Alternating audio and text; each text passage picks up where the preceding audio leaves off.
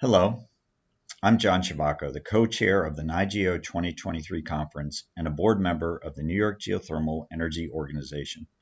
I'd like to welcome you to this recording of a live presentation from the conference, a two-day event which was held in Albany, New York on April 26th and 27th of 2023. This year's educational sessions and keynotes represent the latest in ground source heat pump system design, product innovations, and installation practices, along with important policy, regulatory, financing, and incentive updates. This presentation is one of over 40 sessions from the two-day event, all of which were recorded and available at NY-GEO's website, www.ny-geo.org, along with session descriptions and a link to download the slides from each of the sessions presented. NY-GEO is proud to make this content available to our members and other industry stakeholders. And if you are a member, thanks so much for your support and participation. If you find this content valuable and for some odd reason you are not yet a member, consider joining NY-GEO at the appropriate membership level with details available at our website. The live recording from the NY-GEO 2023 conference will start in just a moment. Thanks so much for listening.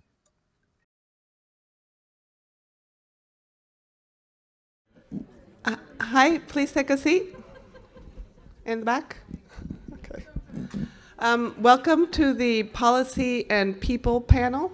This is where we're going to talk about um, how bringing people from very different backgrounds together is how we create and we pass great policy. So my name is Ania Camargo. I am the Thermal Networks Manager at the BDC. The BDC is the Building Decarbonization Coalition. And uh, our goal is to bring people together from different backgrounds to electrify the building sector. And we do that through research and policy and market transformation um, and consumer inspiration. So we have two goals for this session. The first goal is to, um, our fabulous panel is going to introduce themselves, but they're also going to talk about who are the people and the roles of types of people that they work with to achieve their goals. So that's the people part. After that round, we're going to have a second round in which we were, are going to uh, together do a policy workshop. We're going to come up with the priorities that we all have jointly. And then the third round or chapter of this will be a success story that brings policy and people together to basically get really important policy over the finish line. So I'm going to go ahead and start with Debbie New. If you could introduce yourself, talk about your organization and the people you work with, that would be great.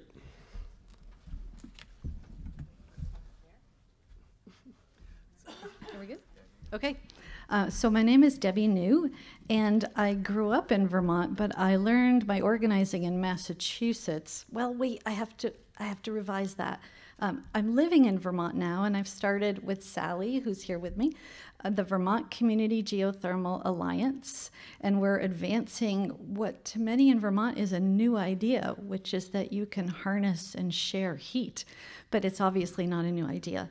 So when I think about how I ended up working with the people I'm working with now, I would say it kind of started back when I did live in Vermont and I choreographed a lot of high school musicals. I don't know if they're musical theater fans in the room or not, but um, yeah, so you know how many people it takes to put on a show, right? Especially in high school, you've got a lot of people who never knew this stuff before, never have never been on stage, but you've got to break down the, the steps for them and get everybody moving in the right direction, in the same direction. Well, the same proved true when I organized in Massachusetts, mainly about gas leaks with some people who are in this room who are now focused on thermal networks. So in that case, we had scientists, we had municipalities involved, a lot of people doing research, we had policy people, we had economists, and we also had moms. So, um, and I, I imagine you know that moms are amazing at organizing, right? So that's another foundation. But um, when I came to, back to Vermont and realized that people were not talking about thermal networks there, they understood geothermal pretty well, but people weren't talking about putting these systems together and sharing heat. I mean, heat is such a precious resource in Vermont, so let's do it. So I started pulling people together, and I started with a lawyer. Which uh, was a bit foreign to me, but um, we needed to write a policy to allow this to happen in our state. And I knew from Massachusetts and New York that we needed a good bill. So we started with the New York bill. We also have an economist who was working on gas leaks and still is working on gas leaks, but also wanted to join me in working on a solution. We'd been fighting gas issues and methane emission issues for so long that it was really easy to get people on board talking about what can we actually build together. So a lawyer and an economist. We also have people from Efficiency Vermont, our efficiency utility. We have electric utilities and our gas utility working together on our team. We also have communities. We have regional planning commissions. These are people who work with many municipalities at the same time. They understand the culture on the ground. They understand what towns need, what towns are not set up well to do, and what kind of help they need. We also have finance people, and this is really important. We have the Vermont Economic Development Authority and the Vermont Bond Bank. So they're right now pretty much sitting around waiting for a project, and we're trying to give them a project, but they are learning with us all about these systems and what we need in order to make them happen in Vermont. So, those are the people that we're enlisting and inviting more people in, breaking things down for people, and trying to get everybody moving in the same direction. Awesome. Great. So, I'm, I'm trying to understand why that was awesome. Thank you. So we're gonna go to Bryant, but I'm I'm hoping I was hoping to have this um, live. Um, okay, so Carrie, all of those people. Can you remember all those people? The lawyers, and the finance folks. Economic development. Economic development. So so yeah, Bryant, if you could just go from there, that would be great. Okay. Hi, my name is Bryant Jones. I'm with Geothermal Rising. Uh, we are a community organizer for the geothermal industry. Um, I have a background in energy policy. I'm not an engineer or a geologist. Um, where I just finished up my PhD, and what I focused on was uh, in, the, in the clean energy transition why are there why do some energy technologies remain stagnant? And i didn't look at it from an economic or technical perspectives because those are well researched. I looked at it from a social from policy from collective action and organizational structure perspectives to see why some energy technologies remain stagnant.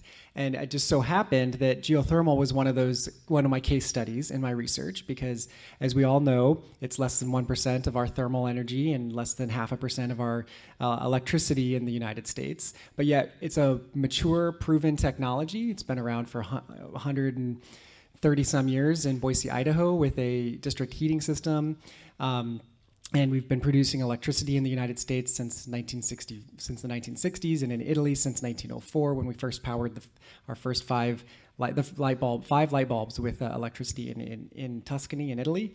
Uh, so this proven, uh, mature technology, why is it still a nascent technology? Uh, and so one of my findings of my research, and thank you to many of you in the room who helped me with this research, um, was came down to uh, community, and that has always been something that's been really important to me, and and is how communities create momentum and empower whether empower whether it's a municipality and, and making change within a community or whether it's an, an industry community and trying to grow the, their and, and commercialize the technology. So uh, that is that's sort of a little bit about my background and, and geothermal rising is is trying to align the geothermal community so that we can raise the profile of all geothermal technologies um, that for all the different segments, and through that, get more no more policy time with uh, with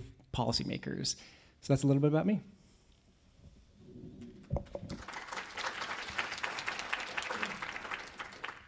Great, thanks. Um, so I'm Heather Deese. I head up policy and regulatory affairs for Dandelion Energy. Um, Dandelion is a residential um, geothermal installation company. So we recently surpassed our uh, 1,300th um, home that we've installed geothermal in um, since our founding in New York six years ago. We work in New York State, uh, Connecticut, and Massachusetts today. Um, we're going to be starting to install systems in Colorado later this year, and um, we're looking at Maryland as a as a next potential market soon thereafter.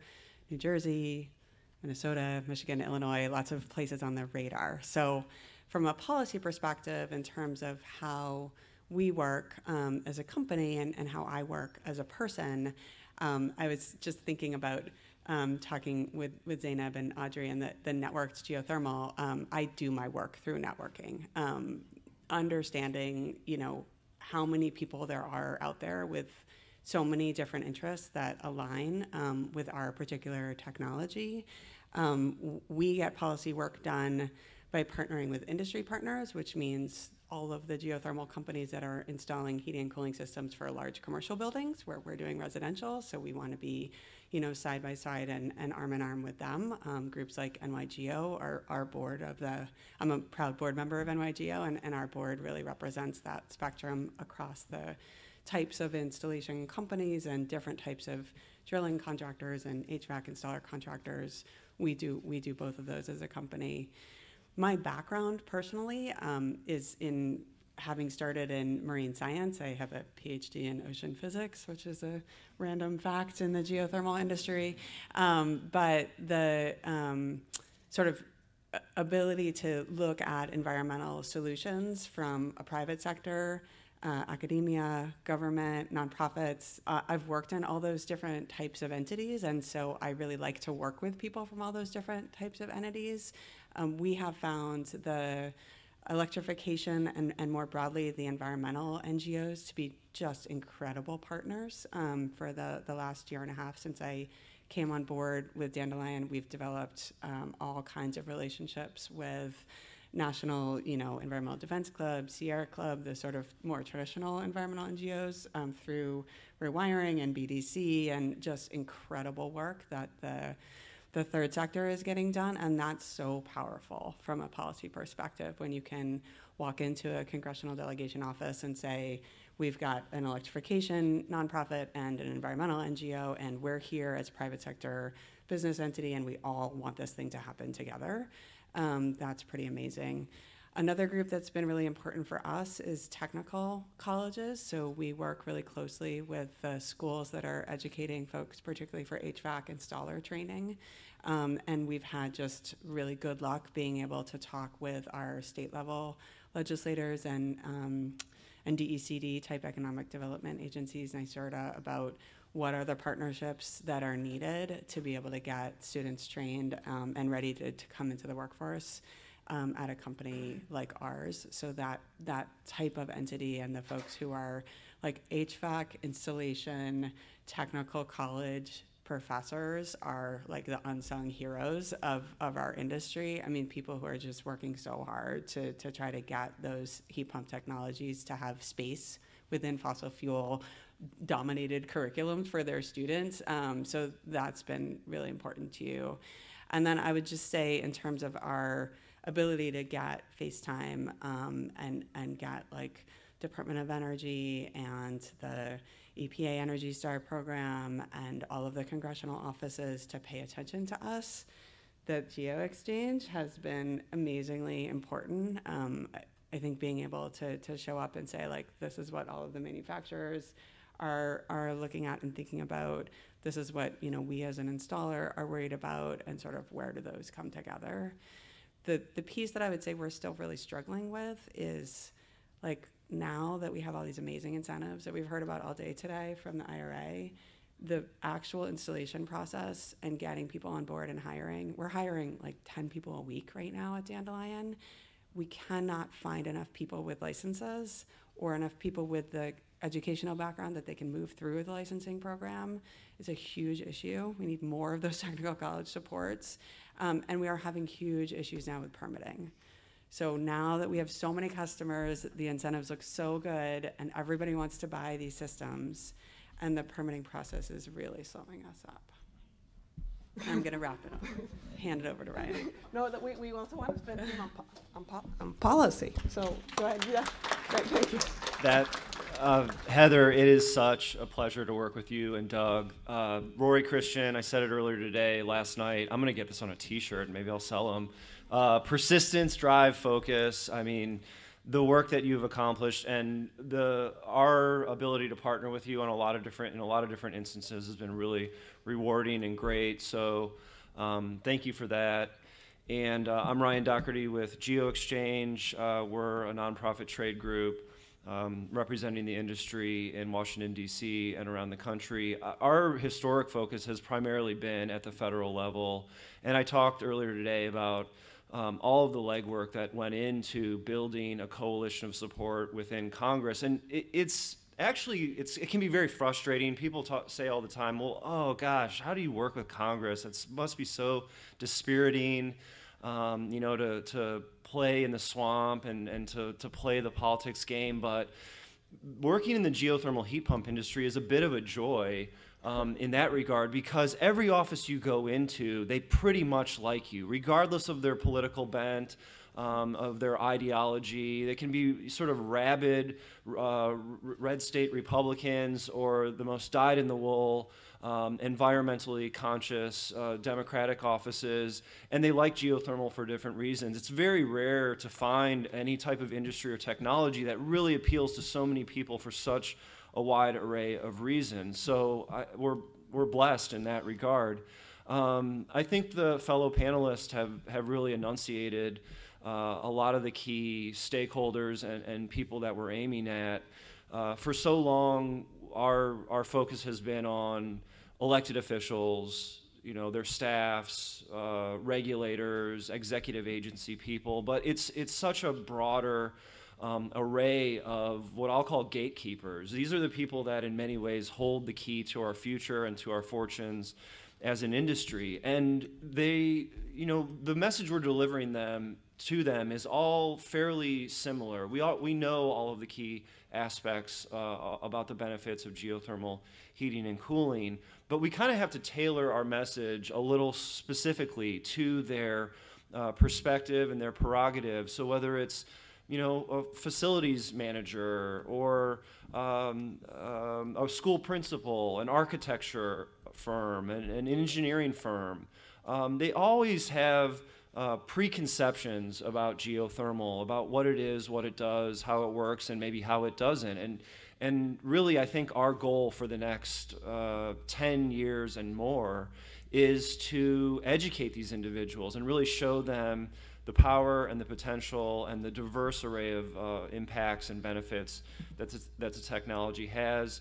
Um, I think somebody mentioned academia and uh, I went to the University of Illinois. I was uh, there just a few weeks ago uh, because I had heard Dr. Liu, uh, Xiaobing Liu from Oak Ridge National Lab, was going to inspect his uh, thermal energy uh, battery. And so I, I, jumped in the car and I, I, went over to see him. And it's amazing to me that the University of Illinois, and this is happening in other places, is really becoming a center of excellence around geothermal. They're doing all sorts of uh, really neat uh, research projects. Uh, they're, they're installing these systems in campus facilities and then monitoring them. And um, it's really great to see academia um, rise up and, and focus on us, uh, the technology in that way. I was so jazzed to see Jamal Lewis here, and it's because of Heather. Um, the, Jamal Lewis is with Rewiring America, a really fantastic organization. Um, and the work that Dandelion has done getting folks like um, BDC and Rewiring and Sierra Club and so many others really committed to our cause. I'm entirely grateful for that. Um, I think I'll stop there and uh, thank you.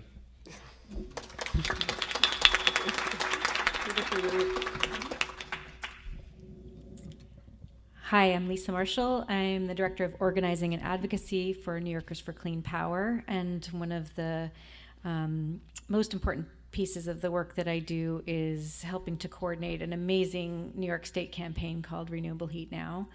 Um, we have been working for many years now to advocate for um, good uh, policy to perpetuate heat pumps, and um, we've been very excited to work on the uh, community geo or thermal network piece for, for a long time as well.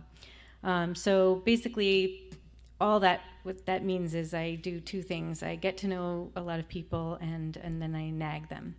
So that's my my main job, and um, I just whenever I'm not sure how to do that, I just picture my deceased Jewish grandmother on my shoulder, and she guides me. So, um, and works pretty well. So, uh, so um, you know the previous panelists mentioned a lot of the people. I'll just say I was one of those mothers. That's how I know Ania. That's how I know Debbie. That's how I know Zainab. That's how I know Audrey. Um, and that's how I, I, cut my teeth as a when I was a new organizer um, with my first organizing job at Mothers Out Front. And that in that role, at first we were fighting um, the supply side, um, the gas infrastructure expansion in New York, including in my very own town. Um, and that was the first time in my life. So I'd always been concerned about climate change. I studied uh, geology. I have a couple degrees in geology, and um, so just love geothermal. I also lived in Iceland with the other kind of geothermal, so I'm just all about geo all the time. And um, where was I going with this? Oh, and so then, you know, going from fighting the um, gas spread of gas infrastructure, you know, met these amazing moms and started to focus on the solution side and the people side. And um, it's just been a really great pleasure to go from that kind of organizing to directing the HeatSmart Tompkins program, where I worked individually with homeowners, I worked with contractors, I worked with municipal leaders um, from every side of the aisle. Ryan would be very proud of me.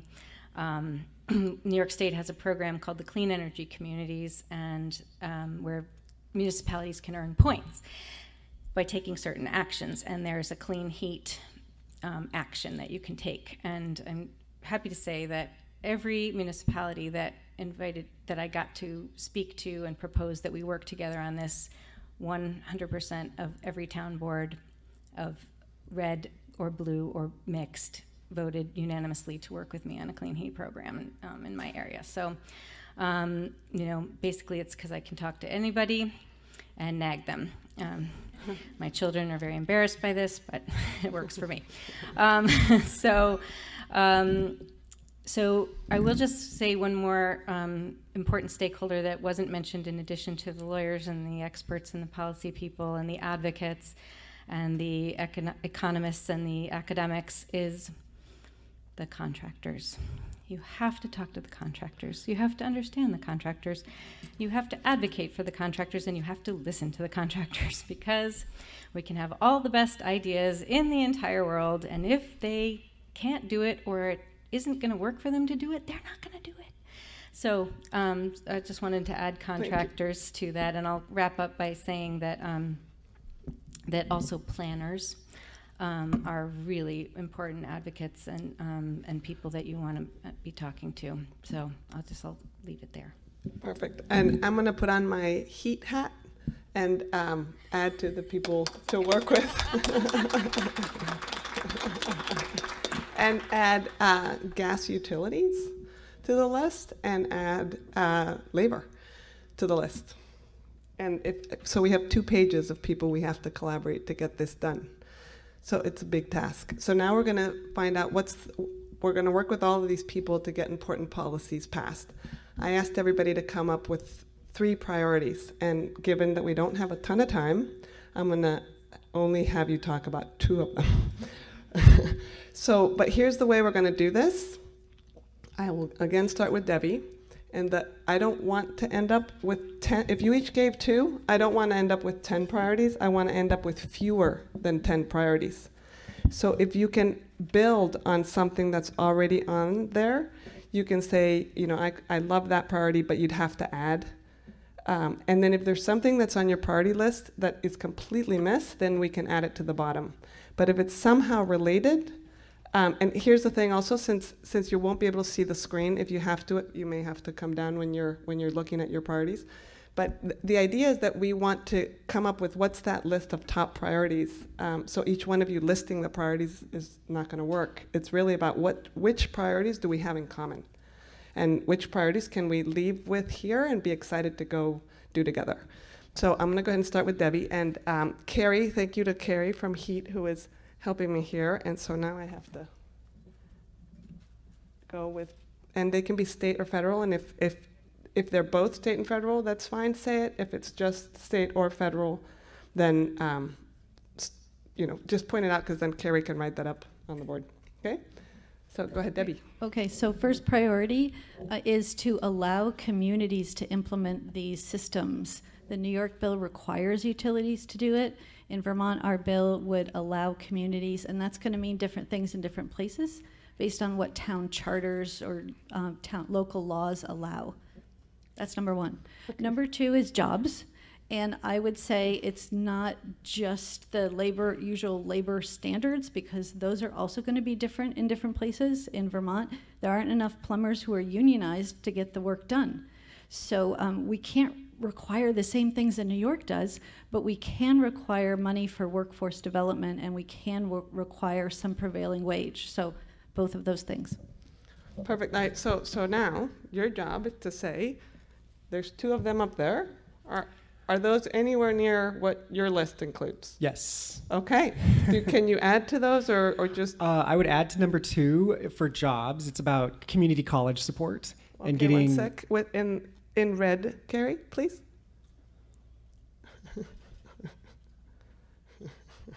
Perfect. Thank you.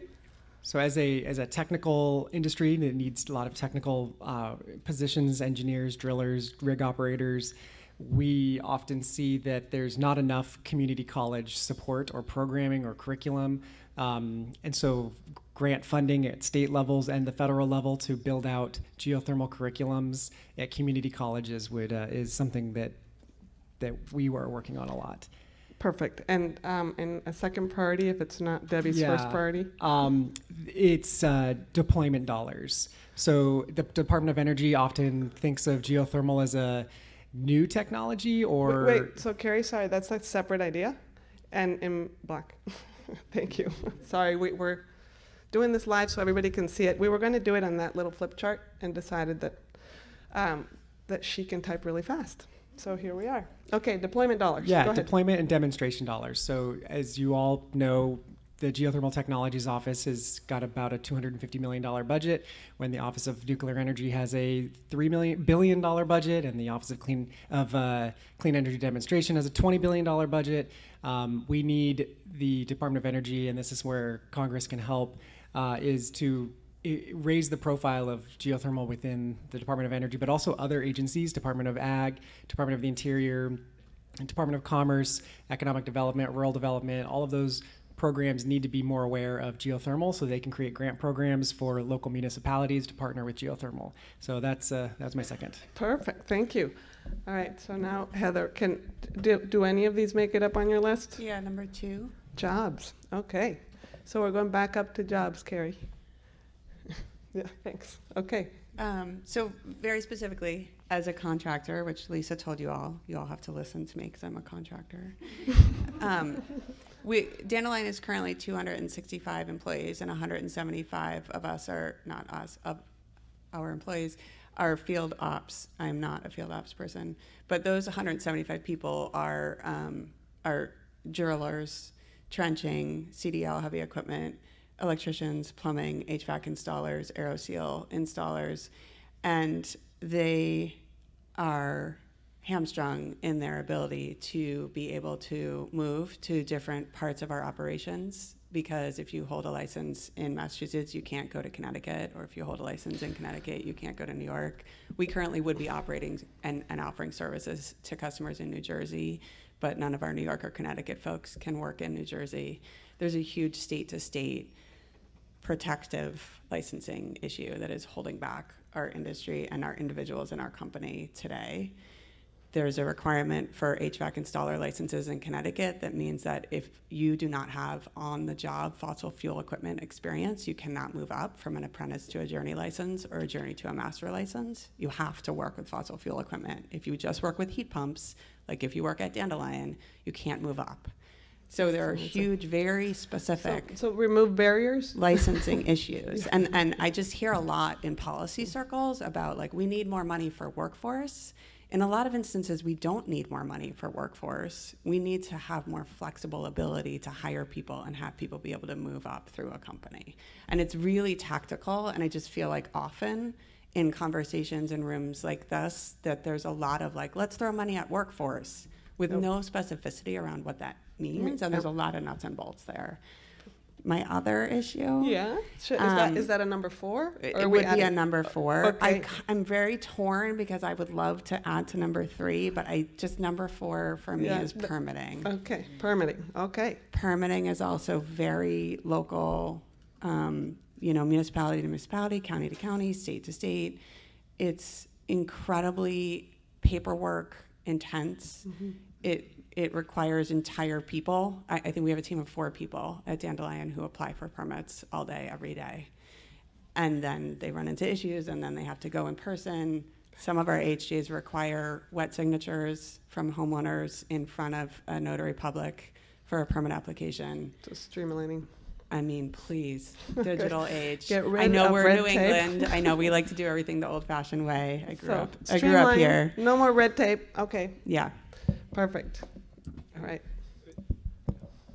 This thing on? Okay. Uh, well, uh, this isn't a new one, but just to illustrate Heather's point, in, in Illinois where I live, there's 102 counties in the state, and each county has their own discretion on the permit process and the inspection and approval process uh, for installation of a ground heat exchanger.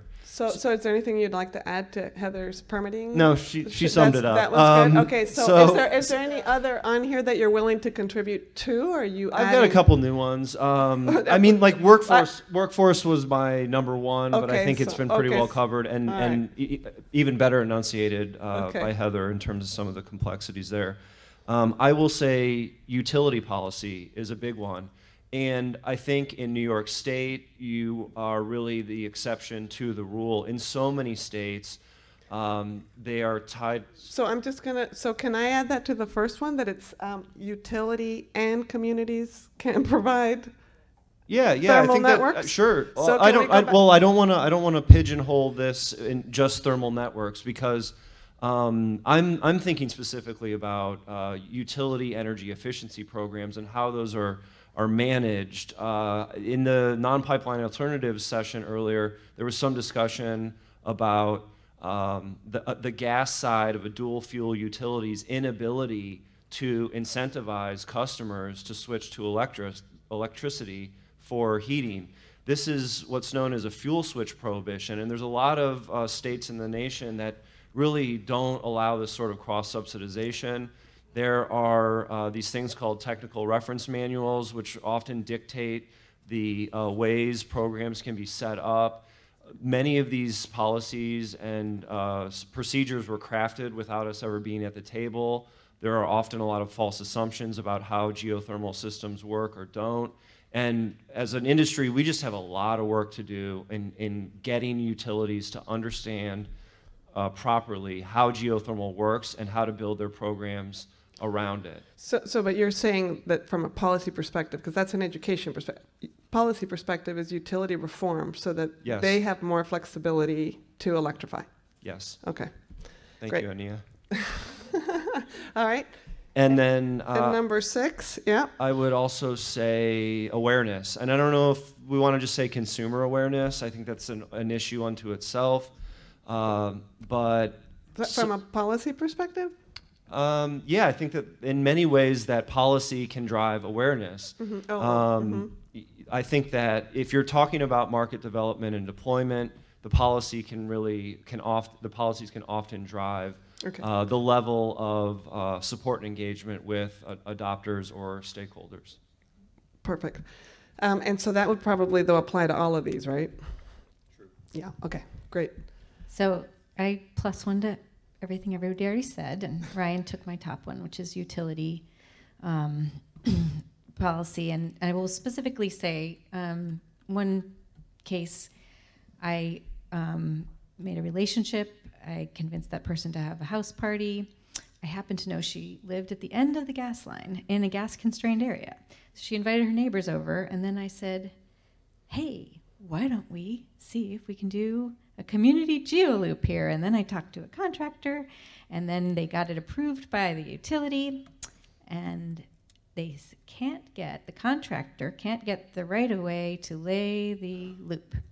So we have this, you know, state that says they want to build these things. They this was approved, but we still we can put wires in the street and gas pipes in the street and sewer lines in the street, but we can't put some water in the street. So, so that would probably so, so working yeah. out sort of the public works aspects of this. That's right, and we have a public service law in in this state that is currently acting as a barrier to move forward with utility deployment of community geo, and that's just a, a huge problem um, that we are working very hard to try to solve right now.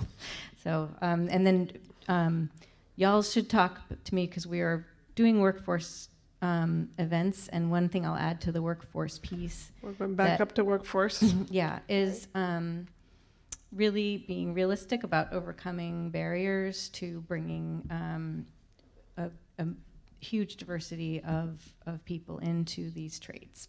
Um, and those, those barriers are on both sides, both the target populations that we'd like to bring into these trades and on the um, employers, employer side, whether it's the private sector or the unions, et cetera. Um, and both sides need to really get real about the barriers and, and the ways to overcome those barriers to, to solve these em employment issues. So that's my, that's all at that. Super, thank you so much. So, so we're really fortunate because we have some incredible people in the audience, and so I'm going to pick on two of them. Um, and I think one of them is still here. Well, I'm going to start with Ed Graves. Uh, sorry? Draves, as we just met. Um, and he works here uh, with UA, a union, and, and I'm just going to ask you, in looking at this list, uh, it, every, many people had jobs here as a priority, and so I would love to hear from you. Sort of, does this make sense to you? Is there something that you would want to add? Is there something that you'd want people to understand? Well, I think the first thing that people need to understand um, is when you're looking at all these things, the workforce is important. Everybody talks about the workforce. The UA, mm -hmm. pipe trades, which is plumbers, steam fitters, uh, sprinkler fitters. Um, in New York State, we have 24,000 members. Um, and those members have been concentrated in the fossil fuel industry and nuclear. We build powerhouses, we um, do boilers, we do all of that work. And so when people talked about fossil fuel bans, that threatened the livelihood of our members um, because that's where they've been that's where they've been employed. But we work with pipe we do HVAC. Um, so Jay Egg, who's sitting right here, came to our executive board two years ago and did his demonstration with his chart.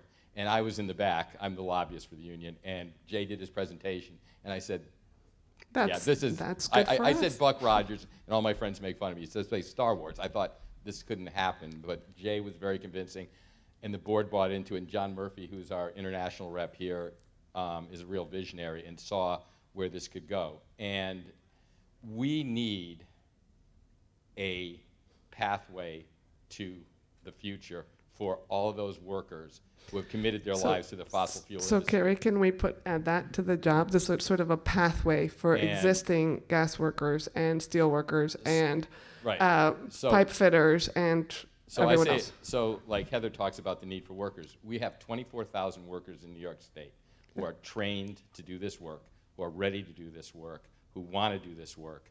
And we need to bring those folks into this industry um, so that we can grow together. And it's about growing together. Um, and that's what we're excited about. When you talk about talking about congressional representatives and uh, representatives um, at the state level, the labor movement has great ties to those representatives but we have we work to help those industries where we're where we're being employed. Right, we need a plan. Yeah, yeah. and we All need right. a plan. Okay, right. super. Thank you so much. All right, so that's a, a really fun to have an expert in the room when we're talking about jobs. So um, now I'm going to turn to another person who has a very different, I mean, not a different perspective, may have similar opinions, but different perspective, which is from the gas utilities. So I asked Holly, Holly, if you don't mind, um, uh, just I, I'm curious also, like when we're talking about uh, utility reform, what what you think from a gas utility would make sense.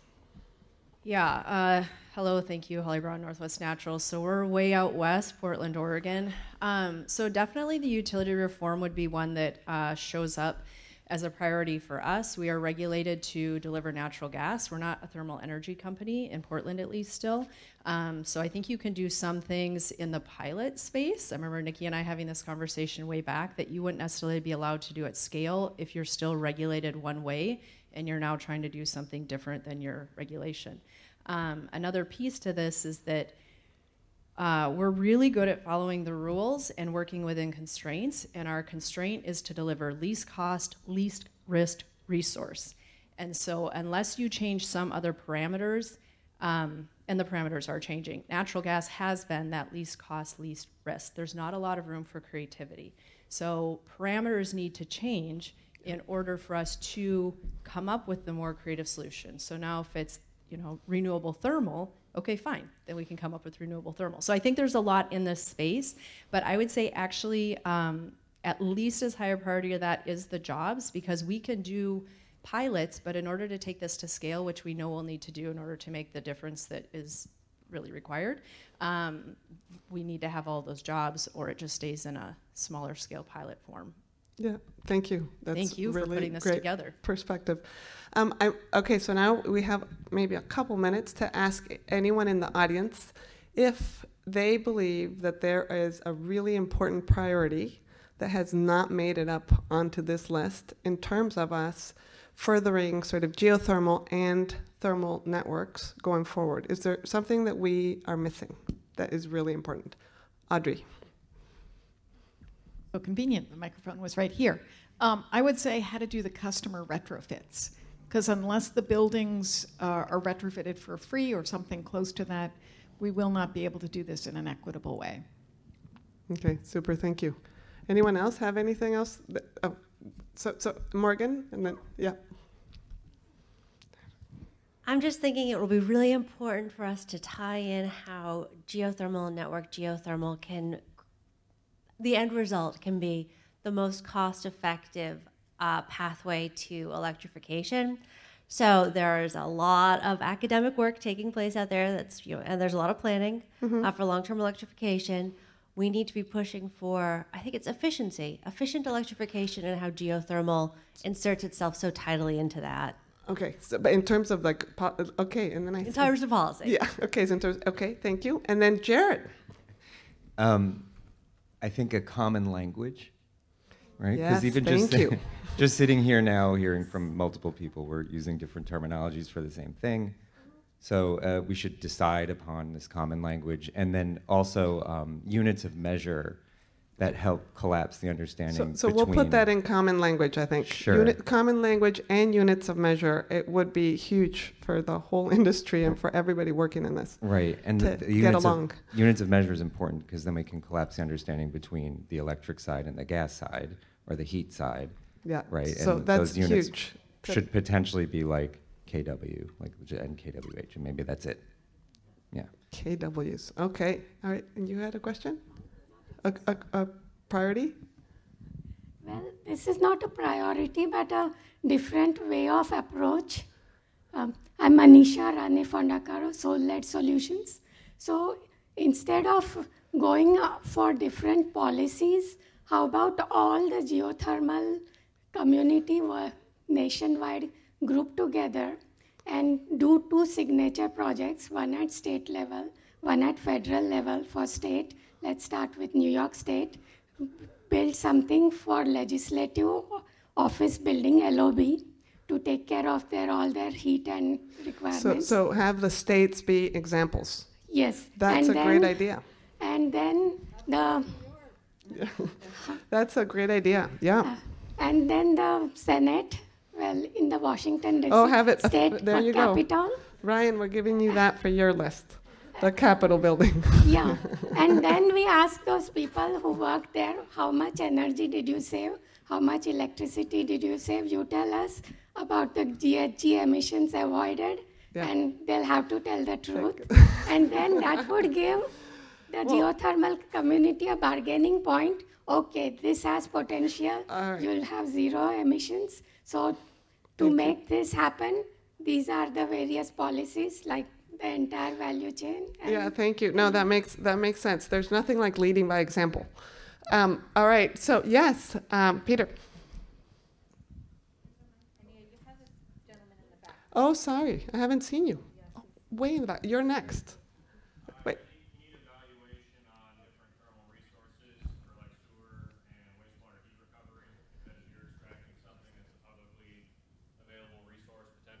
or privately available. So, so look at and yeah, I'm sorry, it's it's harder to hear way back here. Um, so you're talking about uh, you need different thermal resource, evaluating different thermal resources. You need financial valuation on thermal resources to be incorporated within the network. So if you're extracting heat from a municipally owned resource, what is that going to cost um, the end, the end company who is extracting that resource? Okay, perfect. Thank you. Can you add to that? Yeah, and then and then we're coming back to you, Peter. Thank you for your comment. Bec- Is this on? okay. Because, um, thank you for your comment, because I forgot one thing, which is, it would be very helpful to have, um, some developed criteria for, you know, where and how to start building out these, um, these networks, and, which would involve some mapping, right? So where are the ends of the gas system? Where are the communities that would benefit the most? Where, where does the geology favorable, right? And where, you know, where, so find, so doing some resource maps, including what this gentleman said, but, but sort of hitting a bunch of different um, criteria, I think is something that would be extremely useful instead of this kind of um, So, hodgepodge uh, approach we've I'm been taking it- so far. It's going to go back to the we need the data to for site selection and to understand where you know what the resources are and how to use the system. And that was the the panel just before us. So I think I only have time for one more question, um, Peter. I mean, one more priority. Sorry, one more priority, Peter. Yeah, I mean, I think Lisa just mentioned it, but I think like a strategic framework for thinking about how to prioritize and phase in uh, networks in different regions and how to coordinate that with utility and infrastructure planning seems like. I, I think now there's a lot of int- you know, interest coming from here and there, and things can be happen or not happen, but it's um, to be able to like think about that on a statewide level or larger level and zoom in on first priorities and second priorities would be really valuable. And, and coordination. Yeah, Yeah. that makes a lot of sense. Okay, it looks like Angie is waving and jumping up and down and saying one more, please. So Yeah, I I would say the one thing that I- I think is a top priority that kind of covers everything is equity. You know, as we're thinking about deploying this technology, how are we serving the communities that we're working in, especially those that are disproportionately impacted, frontline communities? So, so you're saying that for every one of these ideas, we should make sure we're including equity as like how is it impacting? That should be one of our top priorities, Yeah. but yeah, I think that covers a little But bit of everything. but any priority we work on should include equity. Yes. Okay. Thank you so much. That's a great point to end on and a very important point. Um, all right. So now uh, we're really lucky because so so today the, it's people and policy, and New York um, has a great example of people getting together to, to create policy and passing important policy in this area. So I'm going to invite three of the people who made the UTENJA bill happen. So thank you, Jessica and Lisa and Ed. If you could please, if, if here, we're going to give you um, microphones. We have, I think, yeah, we can just do it up front. Or you guys just can pass. Here's the mic. If you could briefly introduce each other, and then that would be great. This is Lisa Dix. Jessica Azulay. And this is Ed Draves. and Jessica is uh, the fearless leader of Alliance for a Green Economy um, and Renewable Heat Now. Um, and Ed Draves is with Schenker Russo Clark, um, and he represents the the uh, UA, the pipe fitters, steam fitters, plumbers, and sprinkler fitters. And I'm Lisa Dix, and I am the New York director of the Building Decarbonization Coalition. And we're going to tell the story of how we miraculously got the UTENJA bill passed in a Hail Mary at the end of session. Yeah. Do you want to start? start, Okay. All right, I'll start. Yeah. Um, okay, so um, as Ed mentioned earlier, we had a really rough and tumble legislative session last year. We had some amazing um, policies for building decarbonization, electrification on the table. The New York State climate plan was in hot debate and under a comment period, and there was a lot of resistance. Um, and a lot of people really worried in the labor force about what this was going to mean for their jobs in the fossil fuel industry. And there were um, labor unions showing up at the hearings and really resisting the proposed climate plan and resisting a lot of the legislation that we had on the table in New York. So we asked Lisa Dix to um, see if she could have a conversation or start some conversations with labor unions to see if we could find some common ground. So do you want to Yeah. take it from there? Yeah, and so my background, um, you know, one of the big priorities that I worked in my former job um, as the campaign director for the Beyond Coal campaign in Sierra Club was really building the offshore wind industry in New York. And at the table from the ground floor were labor unions. So um, we built an amazing, it's amazing, offshore wind if anybody wants to see what we're doing here. And really the idea came was look you know we we really need to like bring everybody to the table from the you know you know on the ground especially the folks that are going to be the most impacted. And so what we did was we we talked to ed and he can talk about you know some of the conversations that we had you know to get us there. Um, and we i really looked at you know some of the other groups that had really great relationships with labor unions um, and had a really productive relationship with labor unions. I also want to point out that it was um, during an election year so that really kind of amped things up. Um, so we were really looking at organizations that specifically had a lot of influence with the legislature right? Um, legislators looking for endorsements and these kinds of things because we really needed to get something done at the end of the day. And we also, as um, really trying to keep um, um, equity centered in our work, it was also really thinking about organizations that really could come to the table to think about how we really center um, frontline and underserved communities in what we were trying to do. So we, uh, I uh, pulled together Ed um, and John Murphy because they had uh, really just had a recent conversation, as Ed said, with this lovely man in the audience, Jay Egg, um, Jay, can you from stand up because you really should be up here with us. yeah. and uh, we really just had this amazing conversation actually. It was like jay jessica john ed and i. And we really thought of we, we really decided that we had a lot of commonality and agreement. And where we really agreed is on scale right um, because that is where we're going to create the pipeline for the union jobs and the union workforce um, and we also agreed that we needed to do this, meaning electrify the state of New York at scale, right? Because right now our state was doing a, a more house by house approach. It was daunting how much seven over seven million homes that we had to do, um, and we really had a common thread that we really had a vision around a neighborhood scale. And so we decided, we also started talking about the barriers that we just talked about today, right? And one of the big barriers was that Jessica's organization and so many other grassroots were working in rate case dockets um, in the Public Service Commission where the utilities were actually, you know, not, or where, where the utilities were actually um, proposing thermal energy networks. And what was happening was because of barriers in utility law that are not aligned with the climate law, what we, we, weren't be, we weren't being able to like move these forward, even though the utilities were proposing this. And so we let labor know this, and they said, really? And then we decided, well, let's just write a bill together.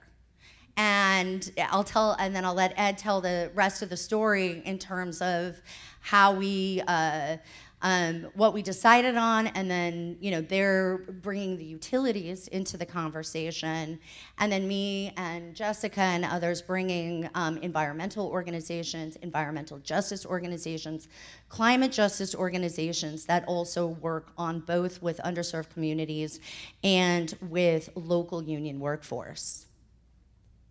So uh, Jessica kind of underestimated what the hearings were like. So at these hearings that were in January and February, there'd be 200 of our members screaming outside the hearings at 200 of her members who were screaming back at our members. Um, so it was really ugly out there. I said it was rough and tumble. Yeah, it was rough and tumble. Um, so what we, we sat down, and I have to say that the important thing here is that they understood that every month our president gets up in front of the members and has to say how many people are working, how many people are not working, what jobs are coming up, and has to say what's going on. And the story was we were not going to do fossil fuel in New York anymore. We had shut down Indian Point. Those are a lot of jobs, and our members get paid month by month. And if you don't work for two months, then you lose your health care benefit, you lose your pension benefit, and you have to travel. So when these jobs go down, they don't build a new peaker plant, 400 guys don't work, and the manager has to stand up and explain that to people, that's a lot. And we had no path forward at this point except to fight. And the utility workers were in the same place. Thermal energy networks gives us the opportunity, especially at scale, to be able to go out and save the utility workers' jobs because the utilities stay in place and they don't have to worry about their pension and their jobs we stay working because we're constructing those things. And the jobs that disappeared in fossil and disappear in nuclear are replaced by geo. And the other thing is, is by doing it in scale, and this is really essential too, because somebody talked about equity here. The New York State law says 40% of the benefits of the decarbonization of New York should go to just uh, environmentally impacted communities we can do that. The labor movement can absorb and bring in apprentices. One of the things that people don't understand is if we don't have jobs, we can't bring in apprenticeships, right? Because we have to have those people working. It does no good to bring in an apprentice and two years into his apprenticeship say there are no jobs. But if we scale and we sequence, we know how many apprentices we need, we know how many journeymen we need, and we can go out and the trade union movement in New York has agreed to do something which is called direct entry, which means we will go into these communities and direct entry apprentices from these communities into our, our jobs. The key being that we have to have the jobs. And this is why UTENs are so important to us because you can build them at scale, the utilities can operate them, and we can create a pipeline of jobs for our current members go into the um, diverse communities and bring those members back and do that. And when we saw that opportunity and they understood what our needs and we understood our things, we fight all the time. So like we're sitting at the table and you, Jessica heard how much money was in thermal versus nuclear. And she turned around, she goes, I can't believe it. And I said, my job's baby. So, um, I said, I still love you. and she said she still loves me. And so we don't agree on everything, but we do agree on the path Uh, that there is a path forward and there's a way to do this equitably. And I think understanding diversity and working together, we went into the legislature and we said there is not one piece of legislation in this body that is endorsed by these people and these people and these people. Not one thing. There's only one place that there's unanimity, and it's here. And we passed both of those, that our pieces basically unanimously and they weren't even written. Well, we always laugh about I, Memorial Day. I was cooking hamburgers, and we're writing the bill, and my wife is yelling at me to get the hamburgers done, and you know, and so on Memorial Day we don't have a bill, and we had it done by June, and now we're on to our second round, and we've been negotiating this week, and you talked about making government. We're working right now to start studies on 15 campuses for the feasibility of doing thermal energy networks um, and making the state lead on thermal energy. So that's, that's where we are. Yeah. So I want to just add one thing to Ed's comment that I think that neither one of us really talked about, none of us talked about yet, was that the utilities were a really, the gas utilities were a really important piece of this puzzle. I can't, you know, emphasize enough. And I personally was worried, um, just given how hot everything was last session.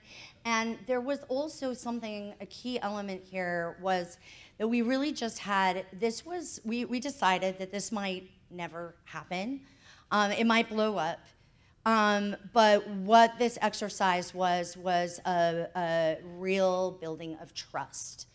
And if we could work together and build trust, through the victories that we were able to get, then maybe we could start to do more things and more things together. So I really want to just make sure that the utilities, you know, got you know some credit there because that was the key, the key, one of the key components besides labor, frontline and environmental justice organizations, the building industry, as well as uh, the environmental community that really got us over the finish line as well at the end of the day. I just want to add one more thing that I think made this bill um, really special and maybe why it passed so fast. I mean, we haven't really said so much about it passed in the last two days of session, right? Yeah. we introduced it about a week before the session was it was a nail biter, um, and we had been talking for a while, yeah. and really listening to each other, and we'd actually been talking about a different bill, um, but we you know, kind of set that aside in order to be able to move forward on something that we could work on together. Um, and we really built that bill together um, with each piece of it touching on something that each of us needed, each of our constituencies and our allies and our coalitions needed to see. And so Lisa calls it, she reminded me, we have to go slow to go fast. and I think, you know, it was kind of a slow burn for a little while and then a huge kind of acceleration at the very end.